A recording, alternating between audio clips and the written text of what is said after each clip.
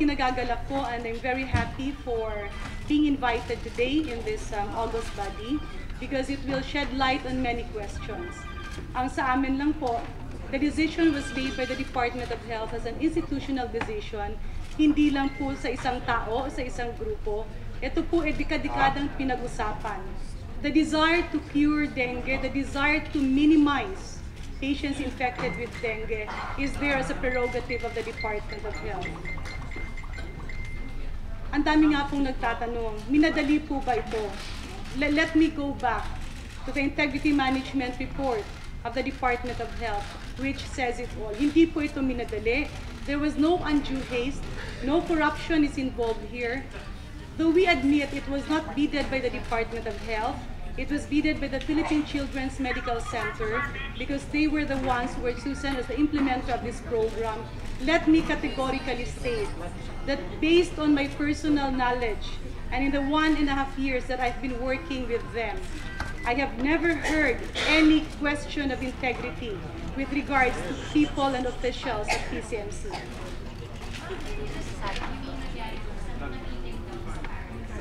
Yeah. Ang totoo po yun, na nung una, nung tinanong ako, kasi biglaan siya, ang sinabi ko, mukhang wala akong natatandaan, but I went to Lyon. Yun ang sinabi ko. The factory that the vaccines were being produced, um, before kasi dumaan ng Lyon, dumudaan ng Paris.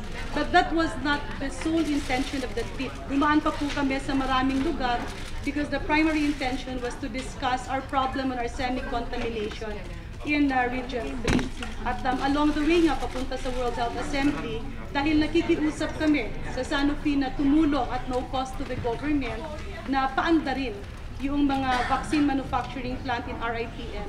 Dagdag pa dito, sa public-private partnership na iniwan po sa akin ni Secretary Ona at ni Yusek Herbosa, ando dun po yung maraming proposal at meron na nga pong na-bid na mga equipment for vaccine production.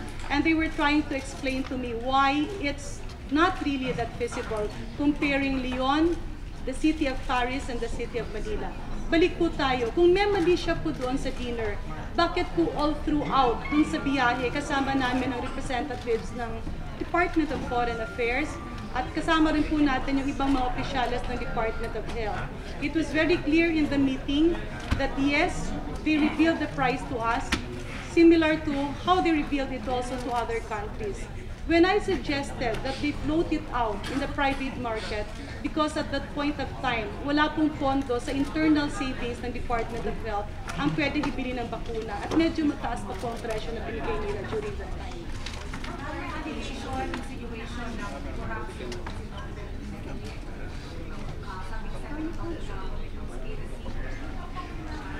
Kaya nga po maganda nga po na naimbestigahan ito because the documents will show that this is a long process.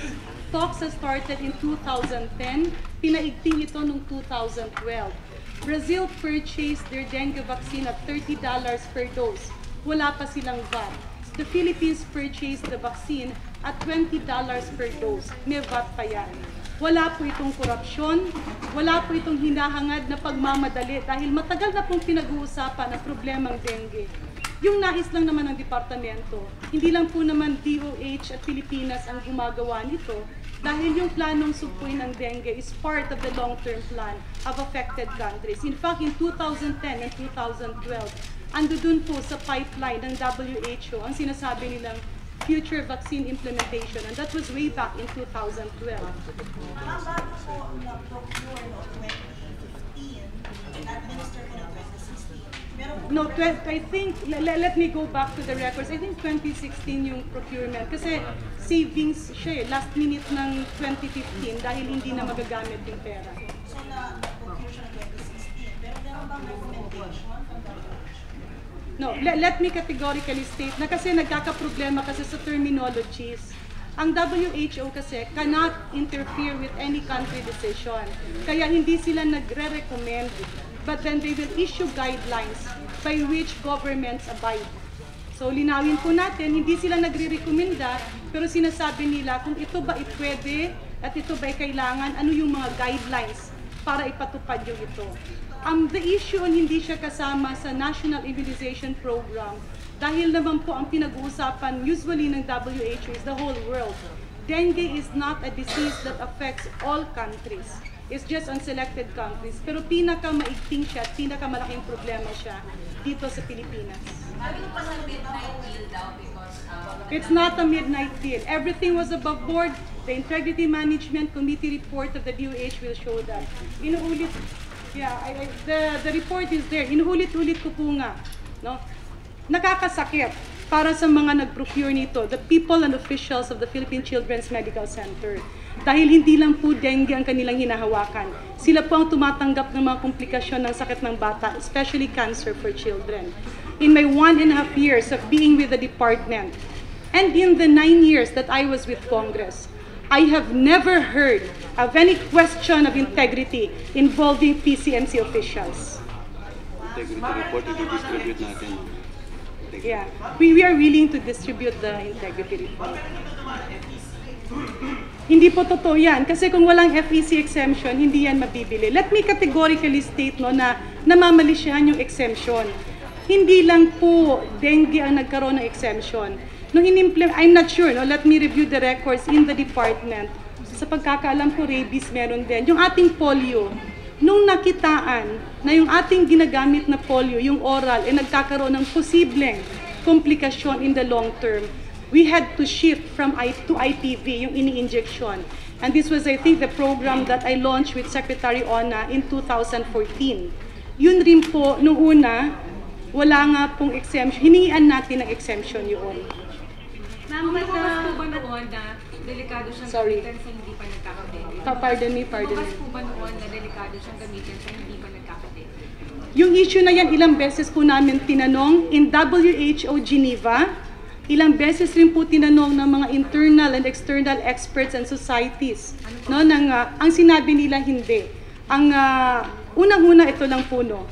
When a vaccine or a drug is licensed by the FDA, ang ibig po sabihin doon is safe para sa ating mga kabataan o sa ating mga pasyente. Hindi naman po pwedeng sabihin safe para sa mga mayayaman, hindi safe para sa mahihirap. In fact, kaya nga po nananawagan talaga kami na hintayin natin ang sasabihin ng ating mga eksperto sa WHO sa Geneva through the, Strategic Advisory Group on Experts dahil baka kasi pinangungunahan natin, pakinggan natin yung totoong eksperto, including international experts, and let us start from there.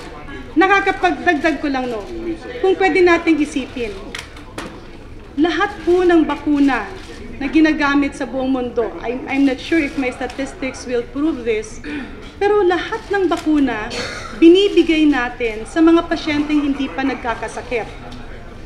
Wala tayong bakuna na binibigay sa pasyenteng nagkakasakit na on a general basis. Ito ay baliktad.